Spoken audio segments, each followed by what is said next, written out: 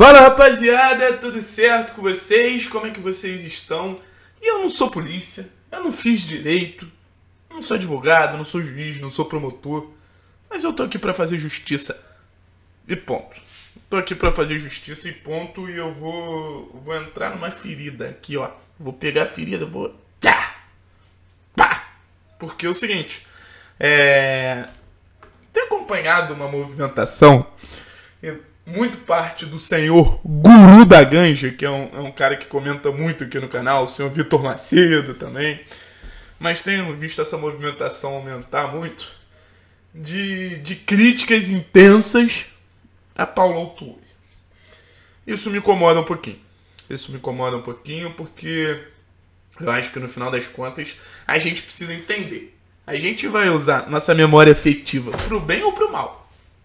A gente precisa, a gente precisa seguir uma linha aqui de raciocínio para chegar num, num contexto ideal. Por quê? Primeiro de tudo. Por quê? Primeiro de tudo.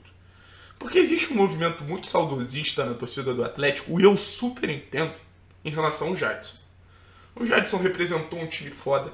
Talvez o melhor futebol que o torcedor do Atlético dessa geração que está mais, tá mais presente, acompanhando o jogo, tenha visto. 2004 está na memória de qualquer um. Eu vi um comentário do Paulo, se eu não me engano, numa live que eu fiz quando a gente estava conversando sobre o time de 2004 e tudo mais. E foi um comentário muito bonito que ele fala o seguinte, cara, é... pode até não ter ganhado, mas é o time que eu não esqueço. E eu acho que o Jadson traz essa, essa memória, traz um sentimento muito bom de um futebol bem jogado, de um time que realmente encantou. Se a gente pensar nos times fodas que o Atlético teve recentemente, 2005, 2013, 2004, obviamente, até mesmo 2001, 18, 19, talvez 2004 seja o time que traga o encantamento e o Jadson representa isso. Só que isso aí é questão lúdica. É uma questão que, que o jogador traz com ele, naturalmente, mas não, jogador, não representa o futebol do jogador, sabe? É um ponto para a gente levar em consideração.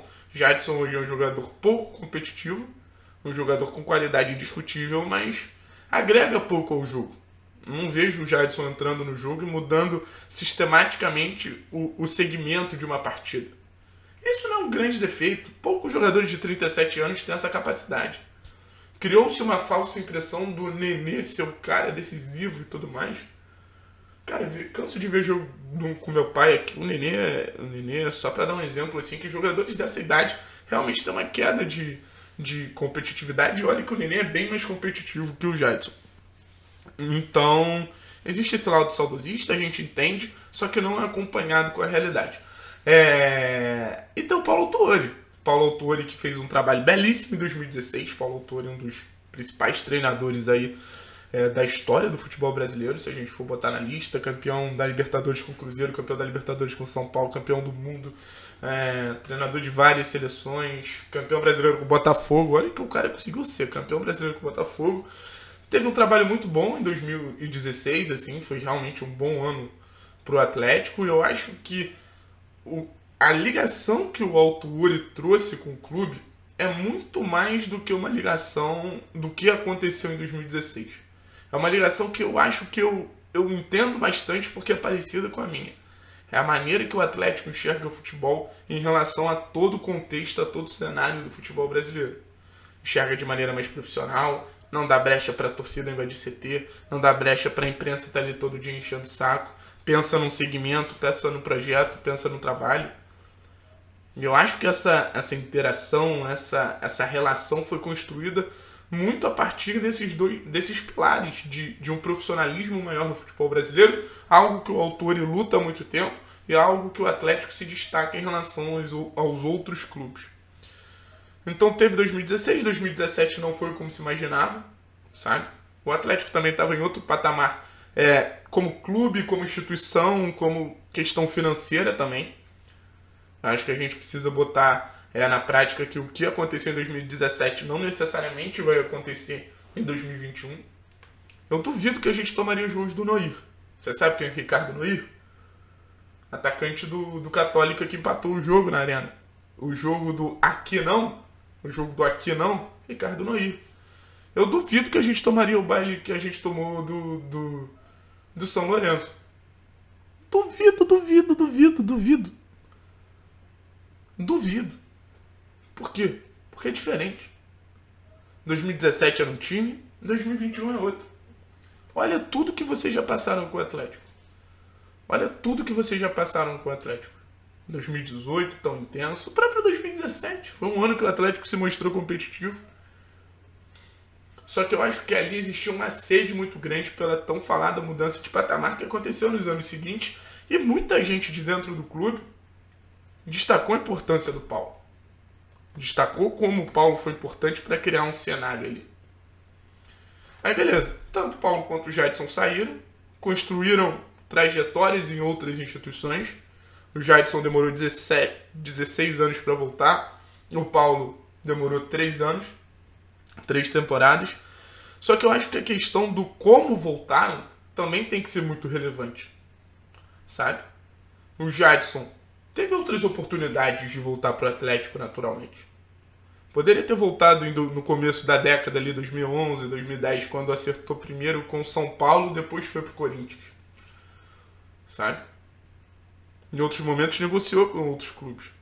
Eu já apurei negociação do Jadson, por exemplo, com, com outras instituições do futebol brasileiro. E, porra, no final das contas ele poderia ter optado pelo Atlético. Naturalmente ele poderia ter optado pelo Atlético. Mas eu não estou falando que ele é ingrato. Futebol é negócio, futebol é grana, futebol é, é, é momento. E naquele momento ele priorizou outras situações além da instituição. E o autor, que no momento que ele não precisava, diferente do Jadson, o Jadson tinha quase como única opção o Atlético. O Autori não. O Autori saiu de um Botafogo, podia descansar, podia fazer qualquer porra. Ele resolveu vir para o Atlético ajudar um projeto que ele acredita muito. E ajudou, diferente do Jadson, extremamente.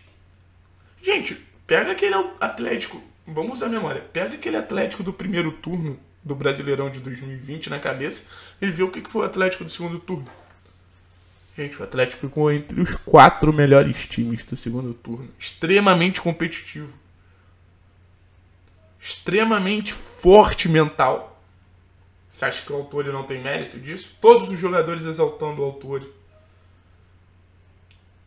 Como vocês falam, o autorismo para mim é isso.